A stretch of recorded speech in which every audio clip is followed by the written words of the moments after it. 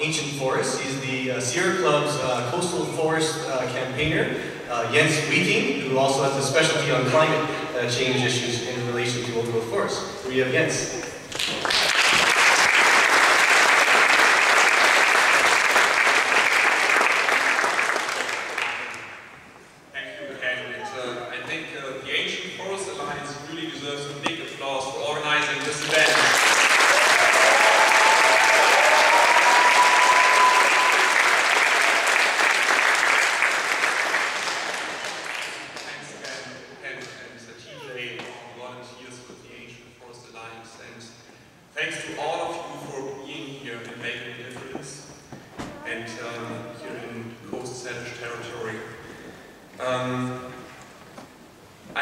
that together we can make change.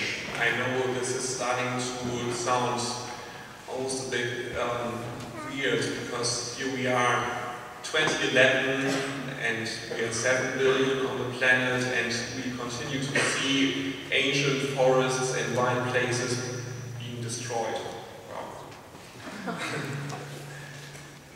um, what is important is that we remind ourselves that change is always happening small and big and sometimes very slow, but sometimes it also can happen very suddenly. So, for example, I lived most of my life in, in Germany, and uh, as far as I can remember, there were always a few very powerful parties that were 100% committed to nuclear energy.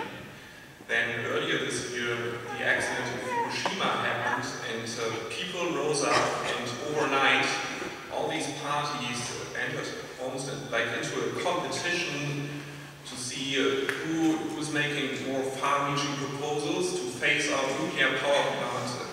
faster and sooner than later. And today we have a plan in place and um, very soon there will be no more nuclear power in Germany.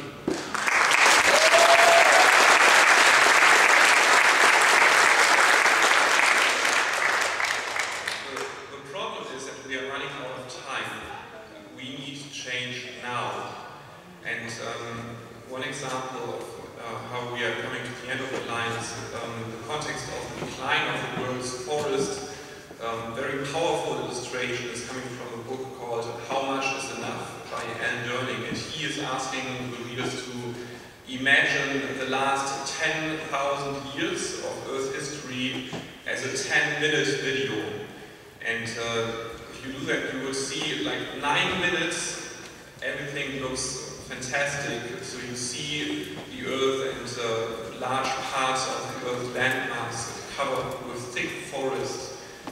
only a little bit of um, disturbance around uh, the Mediterranean after nine minutes, and then after nine minutes and uh, 50 seconds, around 12 seconds before the end, uh, the thinning spreads to some parts of Europe and China, and about six seconds before the end, eastern North America gets deforested.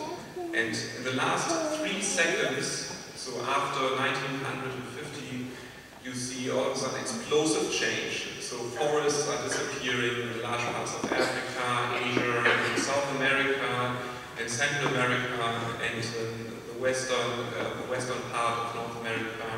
So obviously um, we, we have to stop this. So it's really important to imagine that we are getting to a place where we have to see change, and um, we have seen the same change here on Vancouver Island for about 9 minutes and 57 seconds, uh, the island was uh, covered with thick old growth forest.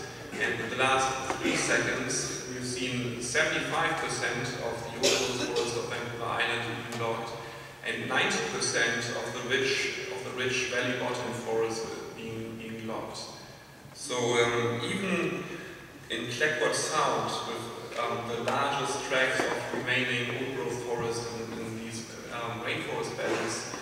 60,000 hectares of, of the intact valleys remain unprotected, despite the civil disobedience, despite the largest act of civil disobedience 20 years ago, um, only part of the rainforest in Clayoquot protected, 60,000 hectares remain unprotected.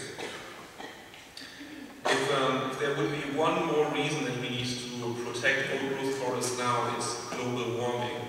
Um, for example, from forest are now increasing to an unacceptable uh, level. So it's due to a combination of destructive logging of mountain pine beetle, of forest fires. The latest data shows us that um, from 2008 to 2009, emissions from our forests have doubled and uh, emissions, carbon dioxide emissions from coast, from BC's forest are now almost as high as the official BC emissions and uh, the emissions from forests are actually not included. So this information is buried somewhere in, in uh, the data sheet on the BC government website, but it seems that nobody in the BC government is paying attention about these massive uh, increases in carbon emissions. So um, BC's forest should really be one of our best allies in the fight against global warming, but instead we are seeing them no longer a carbon sink, but increasingly a, source of carbon dioxide.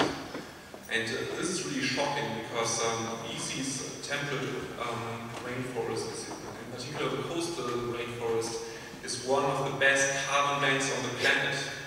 Um, so nowhere else on the planet do we see similar carbon storage per hectare like in, in this region.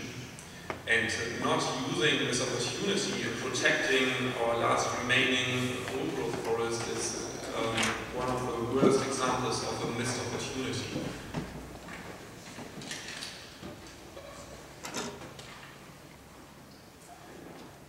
There's one place in the province where we see some progress. So in, in the Great Bear Rainforest, uh, with a combination of protected areas and a new system called ecosystem-based management, we've seen that change is possible and it's not fully implemented yet, but um, once fully implemented, uh, there will be um, 2 million hectares of rainforest in protected areas and hundreds of thousands of hectares of rainforest outside of these protected areas off limits to logging.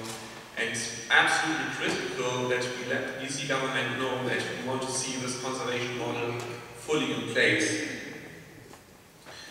Problem is that, unfortunately, uh, it appears that the current priority of the BC government is all about resource extraction.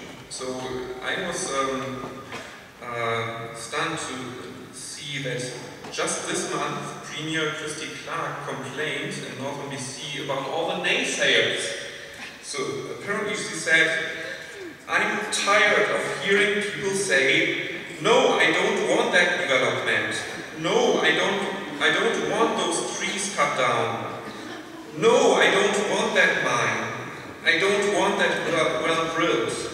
She said, we need to move to yes. and I, I like the part of yes.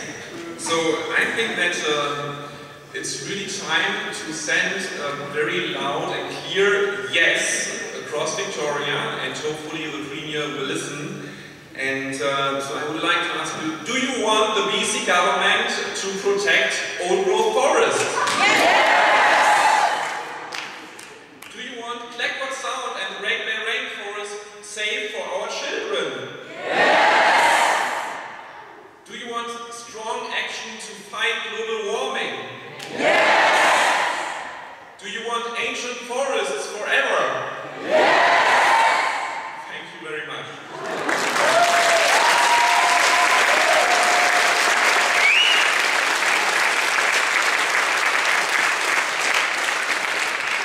Thank you very much again. And don't forget to send a letter to the BC government and uh, support the Ancient Forest Alliance and Sierra Club BC. And we have um, the Sierra Club report on carbon emissions from coastal old growth forest, and uh, we'll find more information from there. Thanks again.